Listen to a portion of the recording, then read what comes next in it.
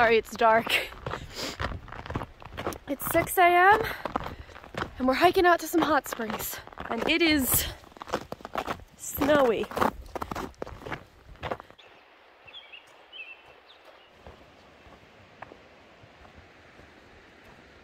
Oh my gosh. Look how much steam there is. I've actually never been to these hot springs, which is wild because I've been to so many, but these are kind of, they don't pop up on a lot of lists.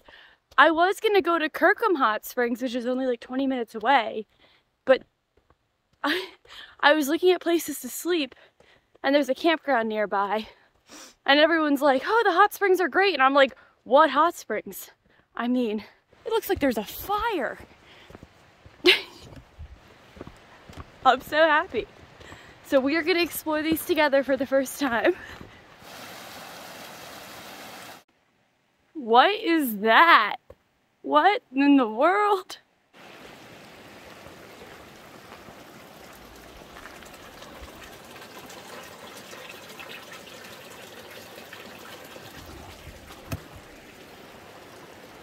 There's a bathtub.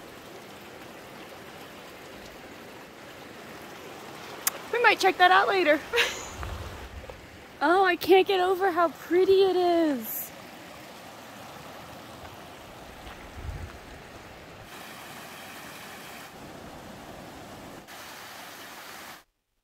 How have I never been here? This is amazing.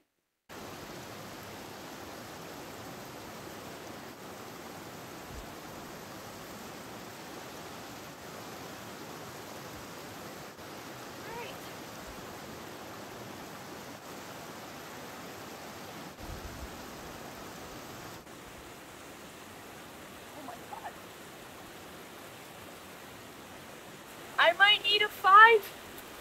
I might need to find a colder pool. Ow.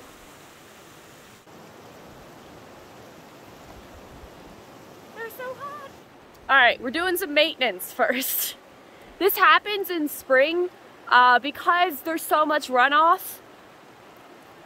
Basically, a lot of the pools will get flooded because there's so much water. So I'm gonna re-divert some of the cold water that is currently coming into this pool so that it becomes better temperature. So let's do some diverting.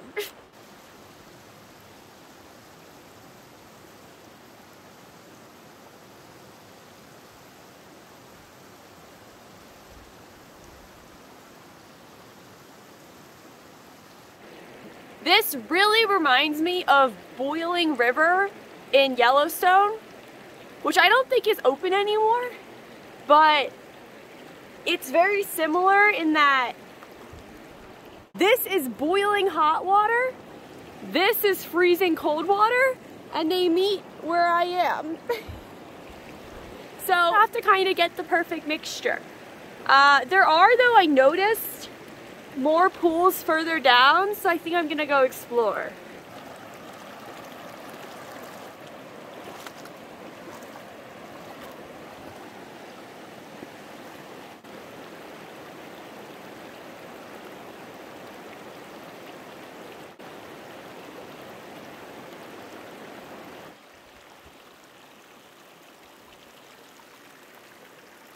There's always a perfect pool. Because some people like it hotter, some people like it colder. But when you find it just right, I'm gonna soak now for a while.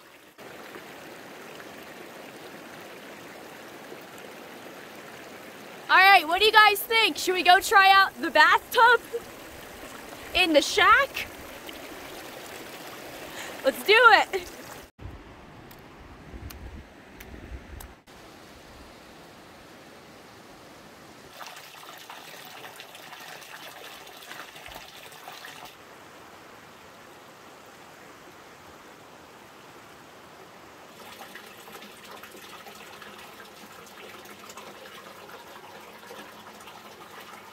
It is clean. I think it just, um, the nice thing about this is there's just constant water coming and going. So it doesn't really have time to get dirty, but This spout seems to have boiling hot water coming from it, and this one has like lukewarm, so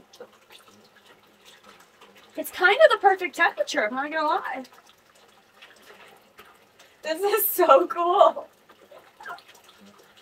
I mean, ah.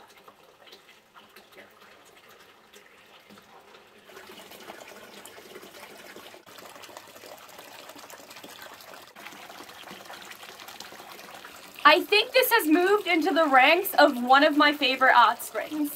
I mean, there's a private bathtub. And there's so many pools. There's so many hot water pools. And it's so pretty. And I think if I come here in winter, this might become my favorite hot spring. I'm so happy. I just I'm so happy. Thank you to whoever built this, because this is incredible.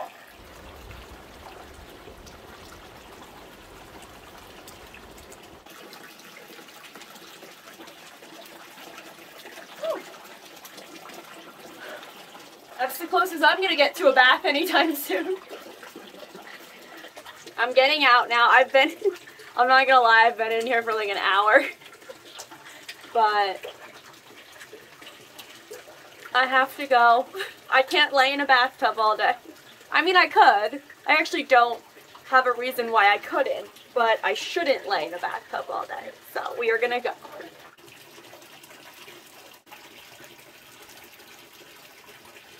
All right. I'll see you in a minute.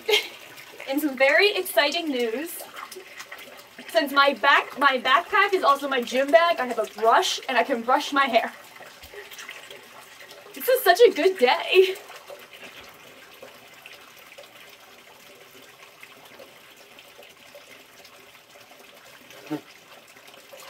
And there's little hooks for my towel. I'm coming back here. I love this place.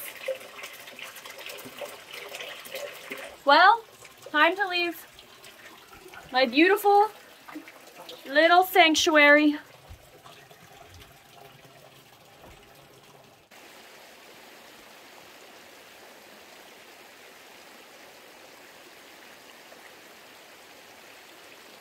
Bye.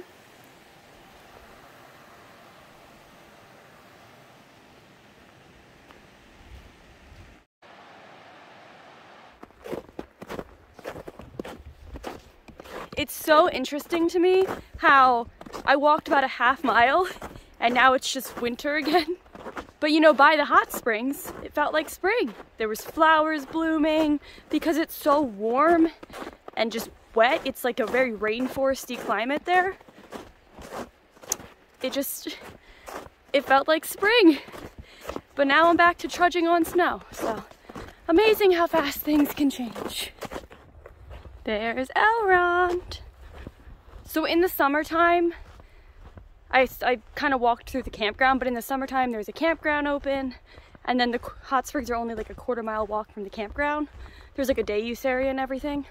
But in the wintertime, because the road is closed, I would recommend parking at the Warm Springs Trailhead.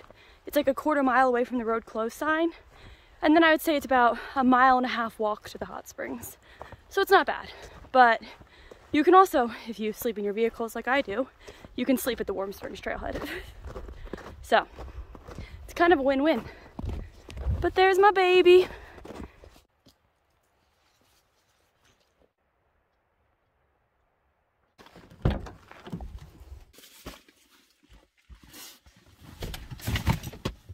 What a good morning!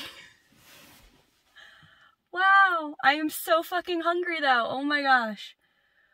Oh, I mean, I already went out for like four hours and I am starving. Let's go find somewhere to camp tonight.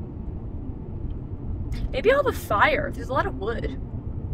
I should have a fire. I love fire.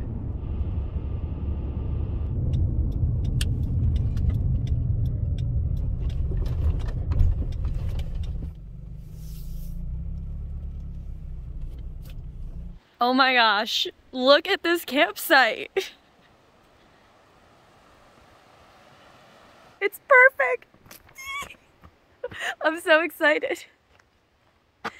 Idaho is so underrated, man. It's like just cold enough. I need a jacket.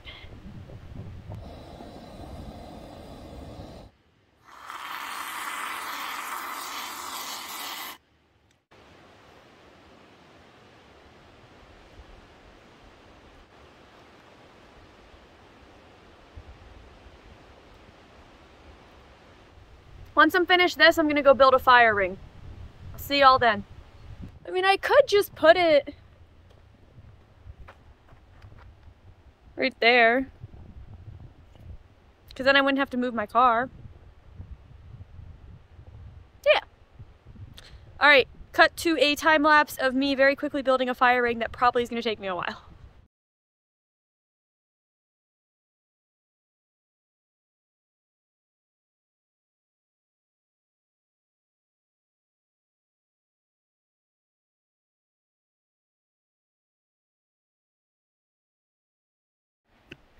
It's not perfect, but it'll do.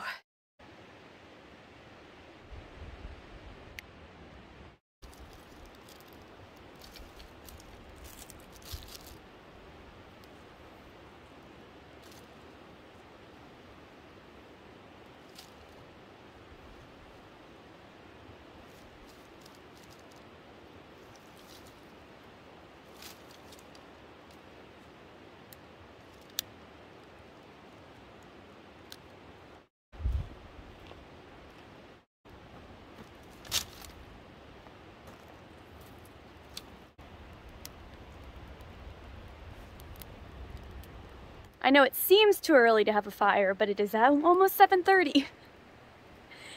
And we still have over an hour of daylight left, so I am exhausted. So I'm having my fire now. I'm gonna make dinner.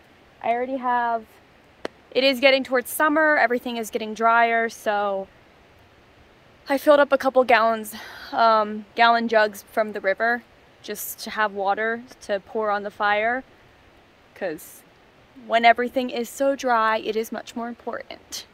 I mean, it's you should always make sure your fire's out before going to bed and everything, but specifically in drier climates and summer, you want to make sure to either bury your fire or pour water on it. Because obviously if you're having a fire surrounded by snow, there's not much to catch on fire, whereas here there is. So, you know, public service announcement of the video. Don't drown people, drown your fires. Yeah, I'm gonna make some mac and cheese because I am hungry. And I don't have a lot of food in my car because I was not planning on being out of service and in the middle of nowhere for as long as I have been. I've just been having a lot of fun. So I am now running out of food, but I always have mac and cheese.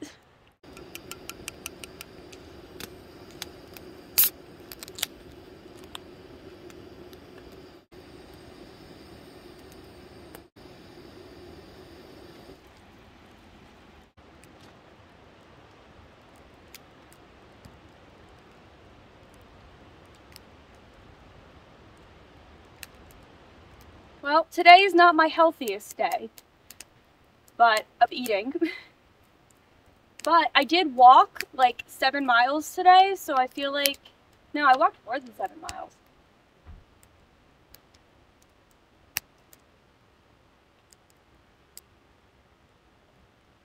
I feel like cheese, lots of cheese and pasta and beer and carbs is earned, you know? I can't believe I just dragged my beer with my pinky out. When in doubt.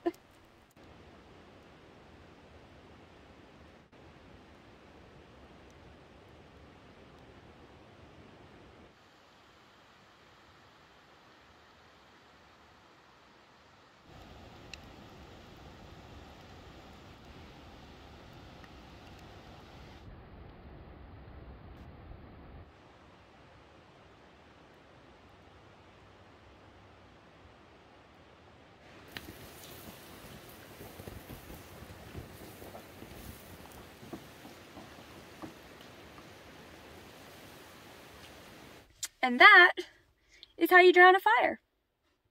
It's honestly kind of fun, the big white plumes of smoke. However, make sure your car is closed before you do that. Otherwise, if the wind is blowing wrong, that smoke could blow right into your car or your vehicle. whatever you have, and that's never good. So make sure your vehicle's closed before you do it, but also drown your campfires. it's only 9:30. Isn't that wild? You know, I feel like I kind of for every time this happens every year, and when the days like really start feeling long, when it's still like kind of late after nine o'clock, there's just there's so much more you can fit into a day. Because, you know, in winter, car camping, I would be in my car 5, 5.30. It would already be dark. And, you know, I'm not going to go hang out outside in the dark. But now it's 9.30 and I'm finally getting in my car. And it's warm and I just want to hang out outside. It's so nice. But I am exhausted. I was up today at like 5:30 a.m. and tomorrow I am getting up again at like 5:30 a.m. Not for this video. Not for any video. I'm just getting up tomorrow morning and I'm to go soak in some hot springs by myself without my camera. because I really I do love filming these adventures and I do have a lot of fun doing it. But sometimes when I am filming, I do kind of forget to really I guess live in the moment and enjoy the moment. I'm more focused on on filming and I love that and it gives me like a really good purpose in my life and I really enjoy doing it. But then also some days I just want to go soak in a hot spring and you know not have to always worry about getting the right angle and making sure I film everything and everything like that. So I'm going to take tomorrow and I'm just going to have a me day and I'm going to go soak in some hot springs and camp and just do everything that I do when I film for you guys. I'm basically going to do today again and just do it without a camera. Because I think it's important to keep doing that for myself so that I don't, I don't know, get tired of filming. I don't think I would because I generally enjoy it, but I do sometimes need to also just take time to myself. So tomorrow is a me day. and it's going to be great. And today was great, and genuinely most of my days are great. I don't have anything to really complain about. If, you know, if I can sit here and be like, some days I don't want to film, I don't have to film. And that's really, really nice. and that's why I got into this lifestyle to begin with, you know? Freedom. Freedom to do what I wanted to do when I wanted to do it. So, today I had the freedom to film, and tomorrow I have the freedom to not film. and that is a beautiful thing. So now that I've rambled for far too long, I just wanted to say thank you guys for watching. I'm genuinely just so grateful for all of you. You know, there's a lot of content that you could watch, so the fact that you choose to spend any part of your day with me, it really means a lot. So thank you guys for watching. I'll see y'all in the next one.